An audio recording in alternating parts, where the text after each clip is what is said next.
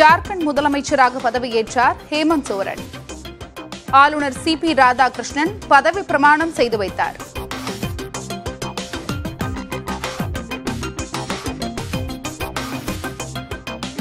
सच्ची श्रद्धा और निष्ठा रखूंगा मैं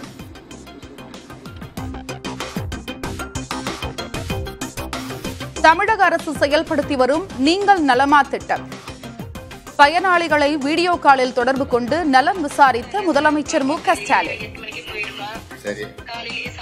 நல்லா இருக்கு சார். நல்லா இருக்கா? திருப்தியா இருக்கா? அச்சங்குடி பிரைமரி ஸ்கூல்ல பாப்பா கீர்த்தி ஸ்ரீ தேர்ட் ஸ்டாண்டர்ட் படிக்கிறா சார். ஓ அங்க அம்மாவா நீங்க? காலை உணவு திட்டம்லாம் கரெக்டா குடுக்கறாங்களா? கரெக்டா குடுக்கறாங்க சார். பாப்பா காலையிலேயே எட்டு மணிக்கு போயிடுவா.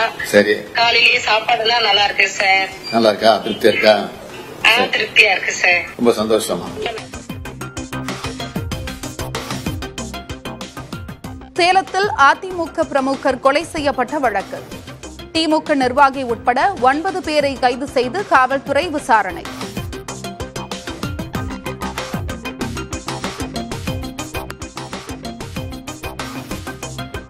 இடைத்தேர்தல் நடைபெறும் விக்கிரவாண்டி சட்டமன்ற தொகுதிக்கு மட்டும் வரும் பத்தாம் தேதி விடுமுறை. விழுப்புரம் மாவட்ட ஆட்சியர் பழனி அறிவிப்பு.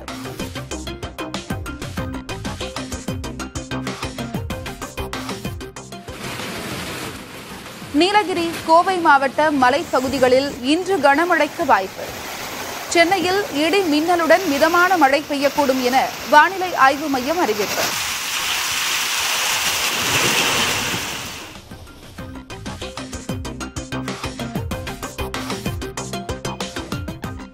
பாரிஸ் ஒலிம்பிக் தொடருக்கான இந்திய தடகள வீரர்கள் அறிவிப்பு.